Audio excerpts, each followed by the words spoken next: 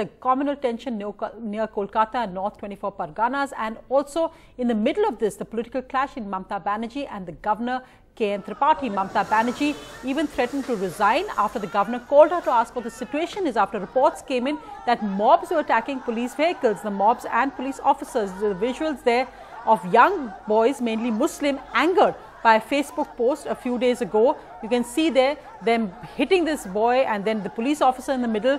So reports of the situation they're worsening. Extra police force have been rushed in. So when the governor called Mamta Banerjee, Mamta Banerjee said, how dare he call me? Is he BJP block president? The BJP says he's well within his right.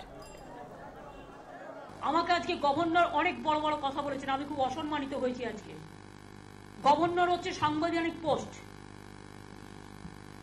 সংবিধান মেনে তাকে কাজ করতে হয় আমিও chief minister আমারও সাংবিধানিক post আমি গভর্নরের দয়াতে এখানে ক্ষমতায় আসিনি আমি মানুষের ম্যান্ডেটে ক্ষমতায় এসেছি I am elected by the people governor nominated by the central government যে ভাষায় উনি বিজেপির পক্ষ নিয়ে আজকে আমার সাথে অসম্মানিত করেছেন আমাকে কথা বলে যে ভাষায় অপমানিত করেছে আমি এই কমিউনিটিরা যারা কাল থেকে শুরু করেছে তাদের বলবো আপনাদের জন্য আমাকে অনেক কথা শুনতে হয়েছে क्या एक मुख्यमंत्री को इस तरीके का बयानबाजी करना चाहिए बहुत शर्मनाक बयान है उनका और देखिए कॉन्स्टिट्यूशनल हेड इतनी भयंकर जो घटना घट रही है अपीजमेंट पॉलिटिक्स को एक अलग लेवल पे लेके गई है ममता बनर्जी की सरकार क्रिमिनल्स है वो भी दीदी के इस अपीजमेंट पॉलिटिक्स का फ़ायदा उठाने लग गए हैं पैरामिलिट्री फोर्स को तैनात किया जाए और Monideepa joining me now live from that uh, from North 24 Parganas. Monideepa, what is the situation now? The BJP saying it's extremely tense, paramilitary forces should be brought in, but Mamta has made this all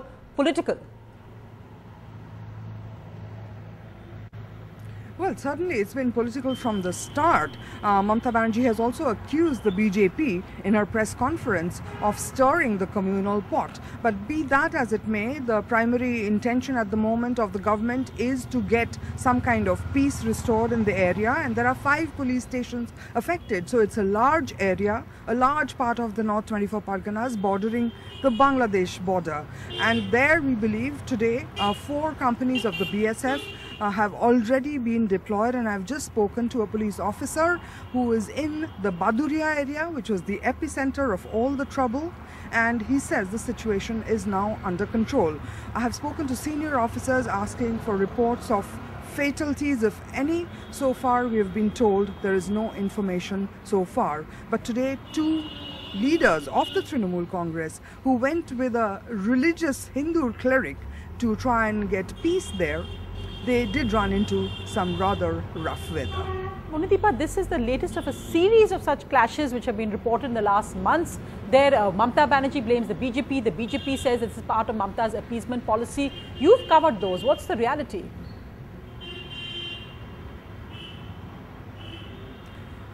Well, you know, it's very hard to judge. Uh, both sides, I would say, um, you know, have their own points to make.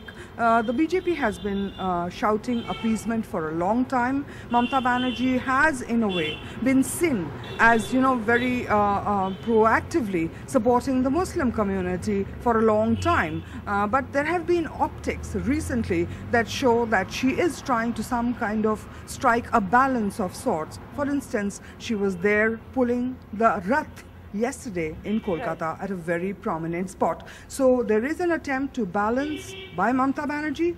The BJP, of course, has been shouting appeasement for a very long time. Monideepa, thanks very much uh, for those updates on that developing story.